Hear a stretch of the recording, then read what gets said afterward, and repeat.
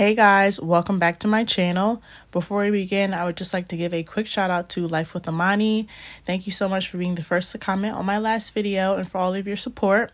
And congratulations to Just Janice. You were the one that was picked to win the Ohuhu Polygel contest. So I'll be in contact with you either today or tomorrow.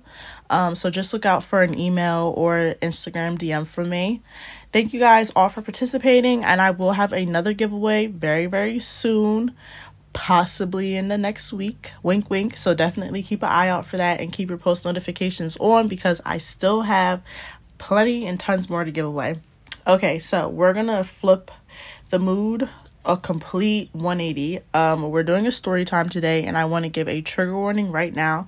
This story is very deep, and this story is very deep. It is very sad. Um, it's it's a heavy one today, guys. So if you are triggered by sexual assault, all that, um, then I would probably honestly skip today's story time. Um, because this is this is this is a tough one to get through, but let's get right into it. So, this is a story from one of my subscribers. And like I said, if you guys would like me to tell your stories, then you can send me an email or you can DM me on Instagram, and all of my information is down below in the description box. But let's get into this story. So, we will call the girl Lily. So, Lily and her best friend were at the gym one day. And when they went to the gym, Lily's best friend saw her cousin. Her cousin was a personal fitness trainer and he offered to help them work out. So, of course, Lily, thinking this is her best friend's cousin, like he's no harm, they went and they worked out with him. And then the following day, he asked to take Lily out on a date. So they went out on a date, they went to the mall, and they also went to go thrift shopping. So, fast forward a few days later, he offered to work both of them out and train them at his personal residence. So, the guy was established. He was almost twice her age, and he had a house, and he also had a garage attached to it that was his personal gym. So, he offered to, um, he invited them over to go work out in his gym. And again, this being Lily's best friend's cousin, she thinks is completely no harm. So Lily called her other friend. We'll call the other friend Nellie. Lily called Nellie and told her all about it. Now, keep in mind, they're all close friends. So it's like a group of three of these girls, and they're all very close friends. So Lily called Nellie and told her about it. And of course, Nellie thought it was a little bit off because of the huge age gap. So, for reference, Lily was 22 and the guy was in his 40s. So her friend Nellie was a little concerned and expressed her concerns, but, but that being her close friend's cousin, didn't think too much into it as well. So, like I said, he had offered both of them to come and work out at his personal gym, and they both accepted the offer, but the friend um didn't wind up going. So the friend whose cousin it was ended up not attending, so it would just be Lily and the guy working out at his house alone. They ended up watching movies all night and and nothing really happened. So now we're getting into the second time he asked her out on another date and asked her to come back over to the house. And she came back over to the house. Now this is where it's gonna get uh kind of graphic. Um, so I'm just giving you fair warning here. So Lily goes over to his house and she's they're both downstairs on the couch watching a movie and he starts touching her leg and her punani. So she told him that she was not interested in having sexual intercourse because it was too soon and he backed off. So after the movie was over, he asked her if she wanted to go upstairs. So she did agree and they both went upstairs into his bedroom and he went into the bathroom. So when he came out the bathroom, he only had on his boxers and he got on the bed. So Lily went to the bathroom also. Keep in mind, Lily is on her period and she does have a tampon in. So Lily went to the bathroom and when she came back out, she got inside of the bed and he told her that he didn't want any outside clothes on his bed, so she had to take her clothes off. So she did take her clothes off and they both lay down in bed and I'll spare the details because like I said it's going to be very graphic and I want to keep it kind of kind of PG for YouTube but he ended up R A P E her. He R A P E her. And I know you guys know what I'm trying to say. So, just to give you a glimpse of what happened, he kept on saying, I need you to say yes. I need you to say yes. And she kept on saying no. And after going back and forth, he was already, you know, penetrating. And keep in mind, guys, keep in mind that Lily was on her period. So she still had a tampon on. And he still continued to penetrate. There's just no way you didn't feel that. Like, it's heartbreaking. But anyway, so after this happened, she was traumatized. And this guy is not only twice her age, but he's also twice her size. He's a personal trainer, so keep in mind how big and buff this guy is. So she was scared. Lily went to the bathroom and she was crying and she pushed her hardest to try and get the tampon out of her, but it was so far up her, it was it was it was hard to get out. So she eventually got it out and she went back into the room. And she wanted to just leave after that, but she had left her stuff in the room, so she had to go back.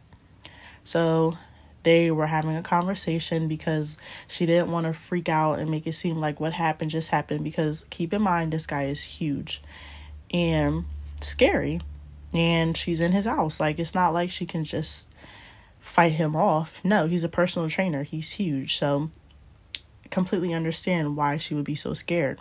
So after everything happened, she leaves and he walks out to the car. Um, and then he is telling her like if she wants a key to his house, she can have it, and if she wants like his credit card, he's just offering like her the world, being like, "I want you to be my girl. You can have everything. You can have a key to my house. You can have uh, um, one of my credit cards." Like offering everything because he I feel like he probably did this because he knows he was wrong. So as soon as she gets in the car and pulls off, she calls her best friend. She calls not the friend whose cousin this was, because keep in mind, this is her best friend's cousin. She calls the friend that was concerned. She calls Nellie. So she calls Nellie and she's hysteric. She can't even process what just happened. So Nellie tells tells her that she needs her to calm down and she needs her to go to her house and Nellie drove her to the hospital because she wanted her to have a RAPE kit done and get all the necessary medication that's needed because it was unprotected. And who knows what he could have had. So Nellie takes her to the hospital and Nellie stayed at the hospital with her. They were there from 12 o'clock at night to 8 a.m. in the morning. And keep in mind, during this whole COVID thing, it's not like you can stay in the hospital with that person. No. So Nellie went home and got her some food and uh, changed her clothes and everything. But you had to get the kit done first before you can like change your clothes and underwear because they need to keep it as proof she came back to the hospital, gave her her stuff, and she waited in the car until, and basically just waited until she was discharged. So when Lily was just car- discharged, Nellie took her back to her house. They gave her all the medicine, they did all the testing that they needed to do, and they collected all her stuff as evidence um, as to what happened. So now the question is, what do you say to your best friend? Because your best friend's cousin has just sexually assaulted you and that was the trick that they were both having, trying to figure out what to say. So she decided to file a police report and have that on record in case she wanted to press charges, but she didn't know because she was still so, so in awe. So eventually she wa- ended up telling the other friend that her what about what her cousin did to her. And the other friend was upset about what happened but she was also kind of in disbelief. So lily asked both of the friends to go with her to the police station so she could file a report. Because when you file a report you have to tell everything what happened word for word verbatim. So after this whole thing happened the police the detective asked both friends for their address and their information. They asked the one friend whose cousin it was first, and that friend actually said to the police officer, What do you need my information for? Because she didn't want to give up her information to the detective. She didn't want to be a part of the case at all, even though this was her cousin that did this to her best friend. And Nellie and Lily were both just so in shock when that happened. So the detective asked Nellie what happened. She gave him all the information right away, no questions asked, because, you know, obviously you want to be there for your friend. No matter if this is going to be a full blown out case or whatever the case may be, doesn't matter. There were there should be no questions asked about giving up your information if it's going to help protect your friend after she was just sexually assaulted.